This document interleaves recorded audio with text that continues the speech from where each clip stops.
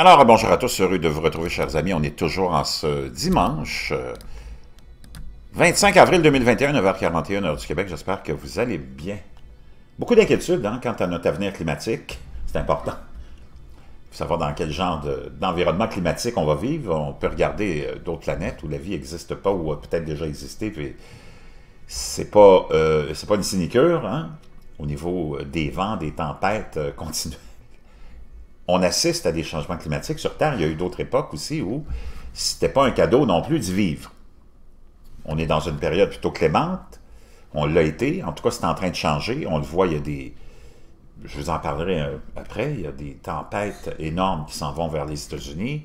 On est toujours face à des augmentations, intensifications de tempêtes toujours plus puissantes, plus d'eau, plus de vent, plus de d'activité en haute atmosphère, plus d'éclairs aussi, euh, plus de foudre, plus de gel au printemps. On le voit, les pauvres vignobles français, euh, on va le voir aussi, euh, risquent de, perdre une bonne partie de leur production cette année à cause du gel tardif.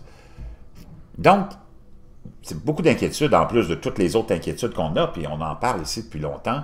Moi, je fais longtemps que je vous dis préparez-vous, préparez-vous, parce que notre confort relatif dans lequel on est installé depuis peut-être vous autres, dépendamment de votre âge, mais moi depuis ma naissance, hein, on peut dire qu'on est les générations gâtées dans le monde occidental, ça tire à sa fin. Toute bonne chose a une fin. On apprend maintenant que les scientifiques utilisent l'intelligence artificielle, qu'on va voir de plus en plus présente aussi. Ça, c'est un autre aspect des changements euh, de notre vie. Et on voit la robotisation vient chercher beaucoup d'emplois. Euh, l'intelligence artificielle va venir, ça c'est au niveau des cols bleus, hein, des travailleurs d'usine, mais l'intelligence artificielle va aussi enlever beaucoup d'emplois au col blanc, les programmeurs, les analystes, beaucoup de belles jobs, des beaux emplois bien payés qui vont être aussi éliminés. Donc, il n'y a personne qui est vraiment épargné.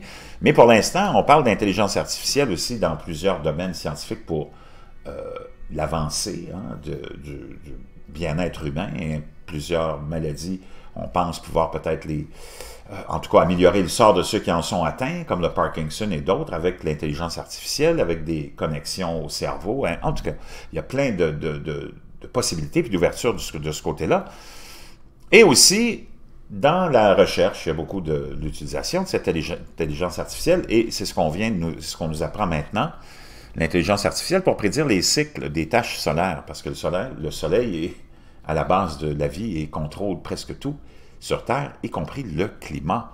Et avec cette intelligence artificielle et ces nouvelles études, les scientifiques ont pu peut-être déterminer qu'on aurait une faible activité solaire jusqu'en 2050. Les scientifiques utilisent l'intelligence artificielle pour prévoir les cycles des tâches solaires. Pour la première fois, les scientifiques ont utilisé l'intelligence artificielle non seulement pour prédire les tâches solaires, mais aussi pour corriger le dossier incomplet de l'activité passée des tâches solaires. Un nouvel article qui vient d'être publié dans Advances in Space Research par le Dr Victor Velasco Herrera, physicien théoricien à l'Université nationale autonome du Mexique, et le Dr Willie Soon, astrophysicien solaire primé au Harvard Smithsonian Center for Astrophysics, et le professeur David Legates, climatologue à l'Université du Delaware et ancien directeur du programme américain de recherche sur le changement global, prédit que le nouveau cycle solaire de 11 ans, dans lequel on est le 25e qui a récemment commencé, montrera une faible activité des tâches solaires presque record qui durera jusqu'au milieu du siècle. Donc, on semble se confirmer, hein, euh, ce qu'on se raconte depuis un bout de temps et qui était une grande interrogation, est-ce qu'on s'en va vers un grand minimum solaire ou non? Les tâches solaires comptent lorsqu'il y a de nombreuses tâches solaires et que le Soleil est actif. Il y a un risque qu'une forte éjection solaire dirigée vers la Terre puisse endommager ou même détruire les milliers de satellites dont le monde dépend pour tout.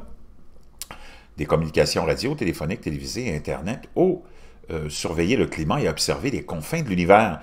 Pire encore, une très forte tempête solaire pourrait endommager le réseau électrique terrestre largement non blindé. La plupart des lignes électriques et des transformateurs sont hors sol et donc extrêmement vulnérables. Les panneaux solaires pourraient également voir leur durée de vie raccourcie par un rayonnement solaire intense, les trois scientifiques ont enseigné un algorithme, ont enseigné un algorithme d'apprentissage automatique comment reconnaître les modèles et les cycles sous-jacents au cours des 320 dernières années d'enregistrement des tâches solaires.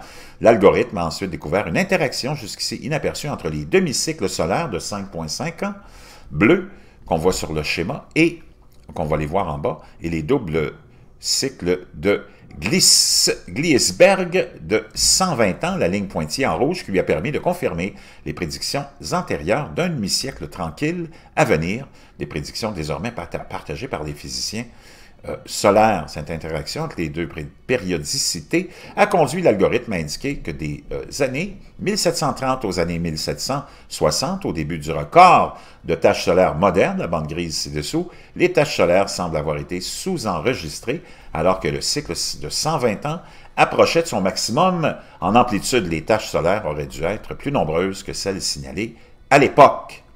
L'algorithme ensuite, prédit les tâches solaires de 2021 à 2100 et il suggère que la faible activité solaire actuelle devrait se poursuivre jusqu'en 2050. Vous irez continuer à lire ça, il n'y en reste pas beaucoup à lire, mais le gros de la nouvelle, c'est celle-là. Hein.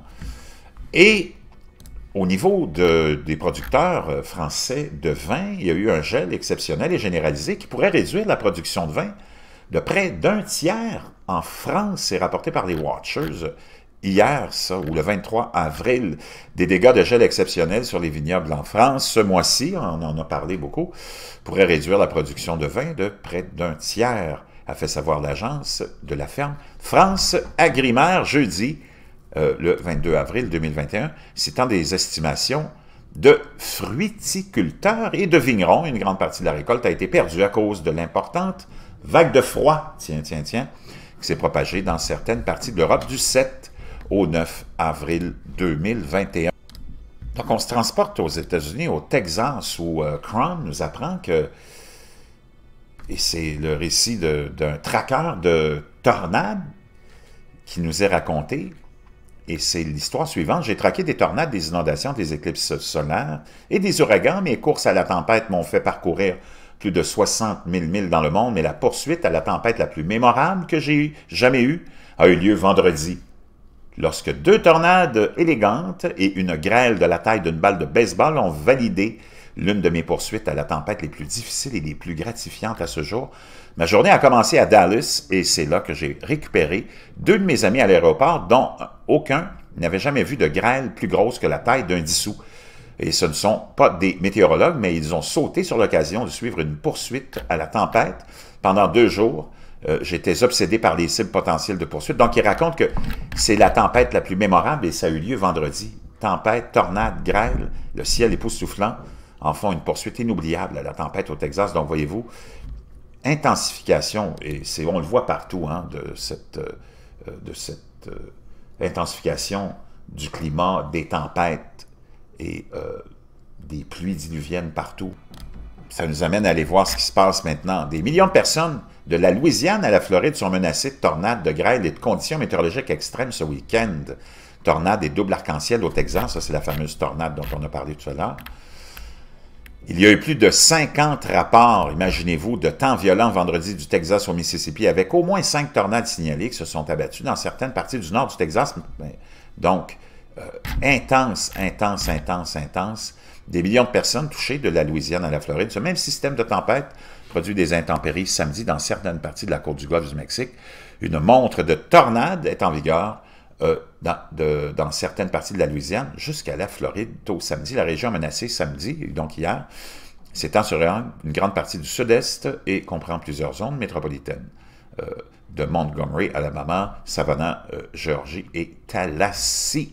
En Floride, de fortes tornades seront aussi possibles dans le sud de l'Alabama. Donc, les États-Unis, un pays qui n'a pas fait grand-chose jusqu'à présent hein, euh, dans les efforts mondiaux pour réduire les émissions de gaz, ben, est touché euh, de plus en plus euh, année après année. Puis on va terminer avec un lien que Réjeanne m'a envoyé, que je salue, qui est la lettre d'information hebdomadaire des catastrophes naturelles, CAT, NAT, Info, la lettre d'information hebdomadaire des catastrophes naturelles. En bref, 24 avril, c'était hier samedi, séisme de magnitude 6.4 au nord de Sumatra, tremblement de terre profond de 6.1 en mer de Célèbre. Et là, c'est tous les euh, volcans et tremblements de terre hein, qui sont vraiment actifs. Chili, découverte d'un nouveau volcan actif. Je vous laisserai le lien de tout ça d'abord hein, dans la boîte de description. Vous irez voir tous les détails. La foudre fait cinq blessés en Autriche. Hein. Je vous parlais de la foudre en haute altitude. Des fortes chutes de grêle causent des pertes agricoles dans le nord du Pakistan. Une violente tempête de grêle accompagnée de vents violents et de pluie a détruit des cultures au pied et sur les pieds des vergers du district de Shangla au Pakistan. Un feu parcourt une vingtaine d'hectares dans euh, le Maine et la Loire, un feu de forêt, hein, ça c'est aussi euh, très courant avec les changements climatiques. Dans certains endroits, c'est plus, plutôt sec et dans d'autres, c'est très mouillé. Des données GPS suggèrent un possible grand risque de tremblement de terre majeur et de tsunami pour le nord-est ou nord-ouest de la Colombie. Donc ça, c'était intéressant aussi à aller lire. Érosion côtière, une nouvelle législation pour les constructions. Il y a plein de nouvelles. Je laisserai ce lien-là. C'est vraiment euh, très intéressant. Merci à Réjeanne de me l'avoir envoyé. Puis je vous retrouve euh, de l'autre côté avec d'autres choses un petit peu plus tard aujourd'hui.